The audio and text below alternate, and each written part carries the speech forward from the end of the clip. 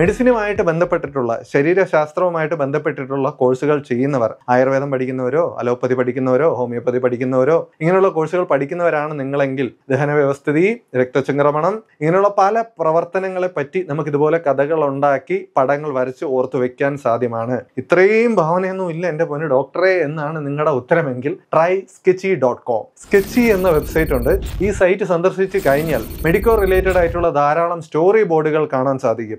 എളുപ്പത്തിൽ ഓർത്തു വെക്കാൻ കഴിയുന്ന രീതിയിൽ കാര്യങ്ങൾ ക്രോഡീകരിച്ചിട്ടുള്ള ചിത്രങ്ങളായി പ്രസിദ്ധീകരിച്ചിട്ടുള്ള സൈറ്റുകളാണ് സൈറ്റാണിത്. ഈ സൈറ്റിൽ ശരീരശാസ്ത്രം ബയോളജി സുവോളജി ഫാർമക്കോളജി ഇങ്ങനെ പല വിഷയങ്ങളുമായി ബന്ധപ്പെട്ടിട്ടുള്ള കോഡുകൾ സ്റ്റോറി ബോർഡുകൾ അവൈലബിൾ ആണ്. Plus one plus two. അതുപോലെ തന്നെ അത് കഴിഞ്ഞിട്ടുള്ള കോഴ്സുകൾ ഡിഗ്രി കോഴ്സുകൾ ഞാൻ നേരത്തെ പറഞ്ഞ കോഴ്സുകൾ ഇവയെല്ലാം ഇതൊക്കെ ചെയ്യുന്നവരാണ് നിങ്ങളെങ്കിൽ വളരെ ഉപയോഗപ്രദമാണ് sketchy dot com just go for that ധാരാളം മെഡിക്കൽ റിലേറ്റഡ് ആയിട്ടുള്ള കാര്യങ്ങൾ നമ്മുടെ ശരീരശാസ്ത്രത്തെക്കുറിച്ചുള്ള കാര്യങ്ങൾ സ്റ്റോറി ബോർഡുകളായി തന്നെ സ്കെച്ചി ഡോട്ട് കോമിൽ അവൈലബിൾ ആണ്. ഒന്ന് കണ്ണോടിച്ചാൽ തന്നെ ഓർമ്മയിൽ നിൽക്കുന്ന രീതിയിലുള്ള കഥകളാണ് പലതും. സോ രോഗങ്ങളെ പറ്റിയിട്ടുള്ള കാര്യങ്ങളും ബാക്ടീരിയകളെ കുറിച്ചുള്ള കാര്യങ്ങളും ഒക്കെ നിങ്ങൾക്ക് പഠിക്കാനുണ്ടെങ്കിൽ ഈ സൈറ്റ് കൂടി ഒന്ന് നോക്കിയോളൂ ഞാൻ ലിങ്ക് ഡിസ്ക്രിപ്ഷനിൽ കൊടുത്തേക്കാം.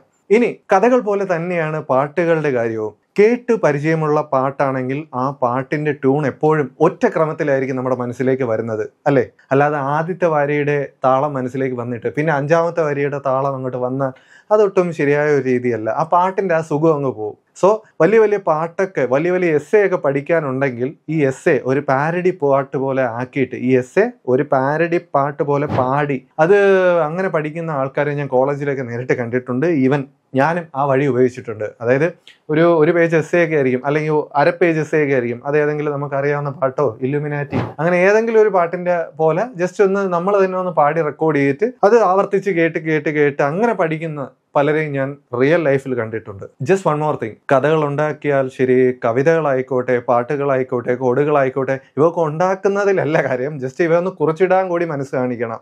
ഈ കുറിച്ചിട്ടാൽ മാത്രമേ നമുക്ക് ഈ വേയിലൂടെ വീണ്ടും വീണ്ടും കടന്നു പോകാൻ വായിച്ചെങ്കിലും എടുക്കാൻ പറ്റുള്ളൂ. അല്ലെങ്കിൽ പിന്നെ ഓരോ സമയം ഓരോ കോഡുകളായിരിക്കും തന്നെ ഇഷ്ടപ്രകാരം ഉണ്ടാക്കിക്കൊണ്ടിരിക്കുക. ഇങ്ങനെ വീണ്ടും വീണ്ടും ആവർത്തിച്ച് വരുന്നത് നമ്മുടെ ഓർമ്മയിൽ ഈ കാര്യങ്ങൾ ഉറയ്ക്കുന്നതിന് വളരെ സഹായകരമായിട്ടുള്ള കാര്യമാണ്. ഇത് പറഞ്ഞുകൊണ്ട് തന്നെ നമുക്ക് അടുത്ത പോയിന്റിലേക്ക് കടക്കാം. Repetition step three repetition repetition അഥവാ ആവർത്തനത്തിലൂടെ മാത്രമേ നമുക്ക് ഈ കാര്യങ്ങളൊക്കെ അങ്ങോട്ട് നമ്മുടെ മനസ്സിൽ അരക്കിട്ട് ഉറപ്പിക്കാൻ പറ്റത്തുള്ളൂ. അതും ചുമ്മാ മന്ത്രോച്ചാരണം. രാമനാമം ജപിക്കുന്നത് പോലെ നടത്തിയിട്ട് കാര്യമില്ല. ഒരു കാര്യം ആവർത്തിച്ച് ആവർത്തിച്ച് പഠിക്കാൻ മൂന്ന് വഴികളുണ്ട്. ഇവിടെയും വീണ്ടും മൂന്ന് വഴികളാണ്. ഒന്നാമതായി ആക്റ്റീവ് റിക്കോൾ രണ്ട് സ്പേസ് റെപ്പറ്റേഷൻ മൂന്നാമതായി ഇന്റർലീവിംഗ് മെത്തേഡ് ഈ മൂന്ന് കാര്യങ്ങളെക്കുറിച്ചും ഒരുപാട് സംസാരിക്കാനുണ്ട് പക്ഷെ ഞാൻ ഇന്ന് ഏറ്റവും ചുരുക്കിയിട്ടാണ് ഈ മൂന്ന് പോയിന്റുകളും നിങ്ങളുടെ മുന്നിലേക്ക് അവതരിപ്പിക്കാൻ പോകുന്നത്. ഓക്കെ? ആദ്യത്തെ method active recall active recall എന്നത് പഠിച്ചതൊക്കെ ഓർത്തെടുക്കാൻ മറ്റൊരാളുടെ സഹായമില്ലാതെ നടത്തുന്ന ശ്രമങ്ങളാണ്. മറ്റൊരാളെന്ന് പറയുമ്പോൾ നമ്മുടെ പാഠപുസ്തകം നമ്മുടെ നോട്ടായാലും ശരി. ഇതിന് ഏറ്റവും നല്ല ഉദാഹരണം നമ്മുടെ ക്ലാസ് ടെസ്റ്റ് മോക്ക് ടെസ്റ്റുകൾ തന്നെയാണ്. ക്ലാസ് ടെസ്റ്റ് അല്ലെങ്കിൽ മോക്ക് ടെസ്റ്റ് നടത്തുമ്പോൾ നമ്മൾ കാര്യങ്ങൾ ഓർത്തെടുത്ത് എഴുതാൻ ശ്രമിക്കും. എന്റെ മോനെ ക്ലാസ് ടെസ്റ്റ് എഴുതുന്നതേ വലിയൊരു തലവേദനയാണ്. അതിനുള്ള കുറുക്കുവഴികളാണ് നമ്മൾ ഇത്തരം വീഡിയോകളിൽ തേടുന്നത്. എന്നിട്ട് ഡോക്ടർ തന്നെ പറയുന്നത് പോയി ക്ലാസ് ടെസ്റ്റ് എഴുതാൻ. വേണ്ട. അതിന്റെ ആവശ്യമില്ല. അതിന് മറ്റൊരു കുറുക്ക് വഴിയുണ്ട്. ഫ്ലാഷ് കാർഡ്സ് എത്ര പേര് കേട്ടിട്ടുണ്ടെന്ന് എനിക്കറിയത്തില്ല. പുറം രാജ്യങ്ങളിൽ ഭയങ്കര ഫേമസ് ആണ്. സ്റ്റുഡൻസിന്റെ ഇടയിൽ ഫ്ലാഷ് കാർഡ്സ് ഭയങ്കര ഫേമസ് ആണ്. നമ്മുടെ നാട്ടിൽ ആയി വരുന്നതേ ഉള്ളൂ. ഈ ആമസോണിലും ഫ്ലിപ്കാർട്ടിലും ഒക്കെ ഫ്ലാഷ് കാർഡ്സ് വാങ്ങിക്കാൻ കിട്ടും. ഇനി അതിന് വയ്യാന്നുണ്ടെങ്കിൽ ചാർട്ട് പേപ്പർ പല നിറത്തിലുള്ള ചാർട്ട് പേപ്പറുകൾ വാങ്ങി ചെറിയ ചീട്ട് പോലെ കീറി കീറി എടുത്താലും മതി. അതിലേക്ക് നമ്മളൊരു അതിലാണ് നമ്മുടെ കാര്യ കലാപരിപാടി നേരത്തെ പറഞ്ഞതുപോലെ ഒരു വലിയ കാര്യം പഠിക്കുന്നതിന് നമുക്കൊരു പ്രധാന ടോപ്പിക് അല്ലെങ്കിൽ ഒരു പ്രധാന കോഡ് കാണും. ഇപ്പം നേരത്തെ കഥയുടെ ടൈറ്റിൽ വൈകുണ്ഠ സ്വാമികളെ കുറിച്ച് എഴുതിയ ആ, നോട്ടിന്റെ ഒരു തലക്കെട്ടായിട്ട് അല്ലെങ്കിൽ ആ കോഡ് കഥയുടെ ഒരു ടൈറ്റിലായിട്ട് ഞാൻ കൊടുക്കാൻ ഉദ്ദേശിക്കുന്നത് മുന്തിരിത്തോപ്പിലേക്കുള്ള വഴി എന്നതാണ് ഈ ടൈറ്റിൽ ആ ഫ്ലാഷ് കാർഡിന്റെ ഒരു വശത്തായിട്ട് കുറിച്ചിടുക. ഇനി നമുക്ക് പഠിക്കാനുള്ള നോട്ടുകൾ ഫ്ലാഷ് കാർഡിന്റെ മറുവശത്തായിട്ട് കുറിച്ചിടുക. ഇപ്രകാരം ഒരു നാൽപ്പത് വിഷയങ്ങളിൽ നാൽപ്പത് നാൽപ്പത്തഞ്ച് വിഷയങ്ങളിൽ ഫ്ലാഷ് കാർഡുകൾ തയ്യാറാക്കി കഴിഞ്ഞാൽ അവ അടുക്കി പറക്കി വെച്ച ശേഷം ചീട്ട് പോലെ ഒന്ന് കശക്കി ഇടണം. ഇതിൽ നിന്ന് ഒരു കാർഡ് എപ്പോഴെങ്കിലും റാൻഡമായിട്ട് എടുക്കുക. മറുവശത്ത് എന്താണ് എഴുതിയിരിക്കുന്നതെന്ന് ഓർത്തെടുക്കാൻ ശ്രമിക്കുന്നതാണ് ട്രിക്ക്. നിങ്ങൾ വിചാരിക്കുന്ന പോലെ നിസ്സാരമായിട്ടുള്ള പരിപാടിയല്ല വളരെ രസകരവും ഉപയോഗപ്രദവും ശാസ്ത്രീയമായി തെളിയിക്കപ്പെട്ടിട്ടുള്ള പരിപാടിയാണ്. ആ എക്സാം ഹാളിലൊക്കെ ഇരിക്കുമ്പോൾ നിങ്ങൾക്ക് ഈ ഫ്ലാഷ് കാർഡുകളായിരിക്കും ഓർമ്മ വരിക. നമ്മളിങ്ങനെ അന്തരീക്ഷത്തിൽ നിന്ന് എയറിൽ നിന്ന് കാര്യങ്ങൾ ഓർത്തെടുക്കുന്നതിനേക്കാളും ഒരുപാട് കാര്യങ്ങൾ ഓർത്തെടുക്കാൻ ഫ്ലാഷ് കാർഡുകളെ ഉപയോഗപ്പെടുത്തുന്നതിലൂടെ സാധിക്കും. അടുത്തതായി പറയാനുള്ളത് സ്പേസ് റെപ്പറ്റേഷൻ രണ്ടാമതായി പറയാനുള്ളത് സ്പേസ് റെപ്പറ്റേഷൻ ടെക്നിക്കാണ് ഇതും ഫ്ലാഷ് കാർഡുകൾ ഉപയോഗപ്പെടുത്തി ചെയ്യാം. സ്പേസ് റെപ്പറ്റേഷനിൽ നമ്മൾ ചെയ്യേണ്ടത് നമ്മൾ ഏതെങ്കിലും കാര്യം ഓർത്ത് വെക്കേണ്ടതായിട്ടുണ്ടെങ്കിൽ അതിപ്പോൾ വീട്ടിലെ കാര്യമായിക്കോട്ടെ നാട്ടിലെ കാര്യമായിക്കോട്ടെ പൊതുപ്രവർത്തകരെ സംബന്ധിച്ചിടത്തോളം നാട്ടിലെ കാര്യങ്ങളായിരിക്കും. ഇങ്ങനെ ഓർത്ത് വെക്കേണ്ട കാര്യങ്ങൾ നമ്മൾ ഒന്ന് ആദ്യം ഒന്ന് പരിചയപ്പെട്ടതിന് ശേഷം അതായത് ഒന്ന് വായിച്ചെടുത്തതിന് ശേഷം അല്ലെങ്കിൽ ചെയ്ത് നോക്കിയതിന് ശേഷം ഡാൻസോ ആയിക്കോട്ടെ ഡാൻസോ പാട്ടോ ആയിക്കോട്ടെ നിങ്ങൾ ഒരു തവണ സ്റ്റെപ്പ് ഒന്ന് പഠിച്ച ശേഷം അടുത്തത് നിങ്ങൾ ചെയ്യേണ്ടത് ഒരു മണിക്കൂർ കഴിഞ്ഞിട്ടാണ്. ഒരു നിശ്ചിത ഇന്റർവൽ ഒരു മണിക്കൂർ കഴിഞ്ഞിട്ടാണ്. ഓക്കെ? അതിനുശേഷം ഒരല്പനേരം കൂടി ആ ഇന്റർവെല്ലിന്റെ ടൈം ഡ്യൂറേഷൻ ഒന്ന് കൂട്ടി. അതായത് ഒരു മണിക്കൂറത്തെ ഇന്റർവെൽ ആദ്യം എടുത്തു ഇനി നാല് മണിക്കൂറിന് ശേഷമാണ് നിങ്ങൾ അത് വീണ്ടും ആവർത്തിക്കേണ്ടത്. നാല് മണിക്കൂർ കഴിഞ്ഞാൽ പന്ത്രണ്ട് മണിക്കൂറിന് ശേഷം. പന്ത്രണ്ട് മണിക്കൂർ കഴിഞ്ഞാൽ ഒരു ദിവസത്തിന് ശേഷം. ഒരു ദിവസം കഴിഞ്ഞാൽ മൂന്ന് ദിവസങ്ങൾക്ക് ശേഷം. മൂന്ന് ദിവസം കഴിഞ്ഞാൽ അഞ്ച് ദിവസങ്ങൾക്ക് ശേഷം. അഞ്ച് ദിവസം കഴിഞ്ഞാൽ ഒരാഴ്ച കഴിഞ്ഞിട്ട് ഒരാഴ്ച കഴിഞ്ഞാൽ രണ്ടാഴ്ച കഴിഞ്ഞിട്ട് അതേ കാര്യം ഓർത്തെടുക്കാൻ ശ്രമിക്കുക.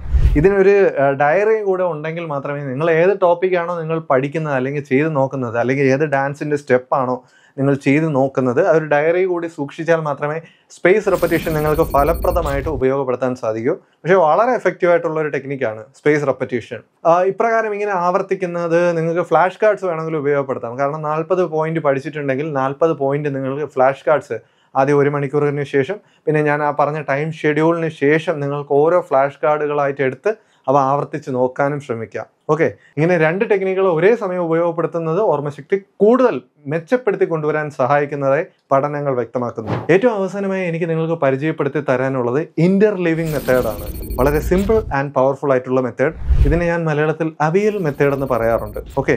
അവിയൽ പോലെ തന്നെയാണ്.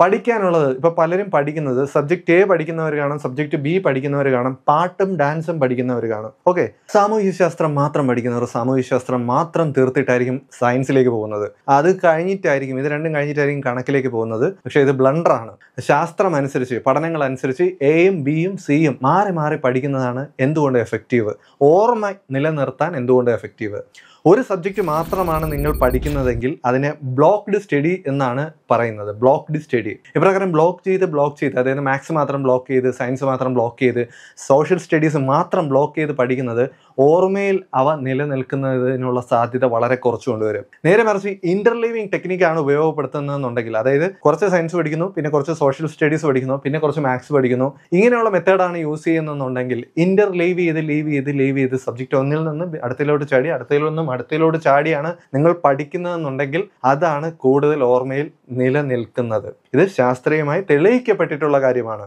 ഈ മൂന്ന് വിഷയങ്ങൾ വെച്ച് മാത്രം ഒരു അരമണിക്കൂർ വീഡിയോ ചെയ്യാനുണ്ട്. സോ ഇതിനെക്കുറിച്ച് കൂടുതൽ അറിയാൻ നിങ്ങൾക്ക് ഒരുപാട് താല്പര്യമുണ്ടെങ്കിൽ തീർച്ചയായും കമന്റ് ചെയ്യുക. എന്റെ ഫോൺ നമ്പർ താഴെ കൊടുക്കാം. എന്റെ പേഴ്സണൽ നമ്പർ അതിലേക്ക് നിങ്ങൾക്ക് മെസ്സേജ് അയക്കുക ഈ ഫ്ലാഷ് കാർഡ്സ് എന്നൊക്കെ പറയുന്നത് നമ്മുടെ നാട്ടിൽ ഇന്ത്യ മഹാരാജ്യത്ത് ഉപയോഗപ്പെടുത്തുന്നത് വളരെ വളരെ കുറവാണ്.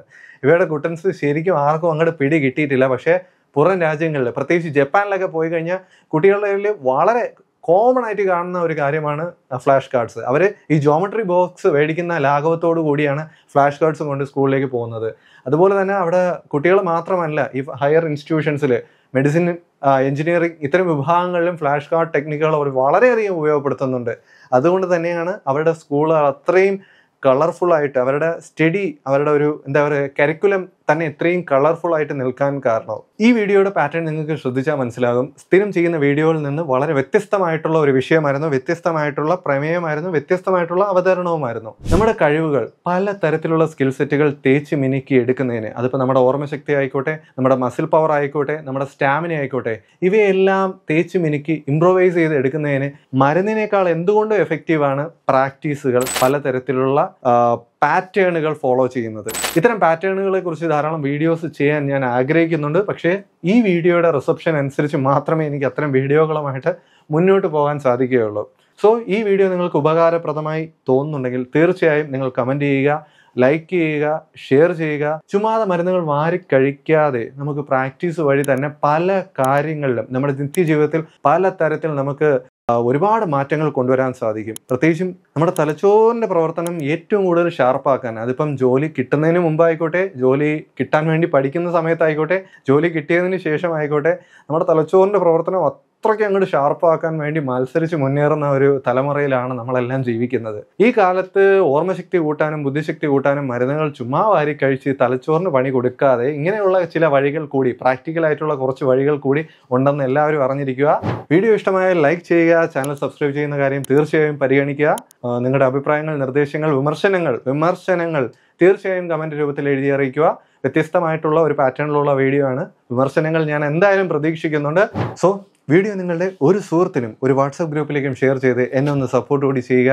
നിങ്ങളുടെ ആരോഗ്യ വിഷയങ്ങളുമായി ബന്ധപ്പെട്ടിട്ടുള്ള സംശയങ്ങൾ മറ്റു പല വിഷയങ്ങളിൽ ഏതെങ്കിലും ഒരു വിഷയത്തിൽ നിങ്ങൾക്ക് വീഡിയോ ചെയ്യണമെന്നുണ്ടെങ്കിൽ ആ വിഷയം കൂടി താഴെ കമന്റ് ബോക്സിൽ കമന്റായി രേഖപ്പെടുത്തുക. മറ്റൊരു നാളിൽ മറ്റൊരു വീഡിയോയുമായി കാണാം. അതുവരേക്കും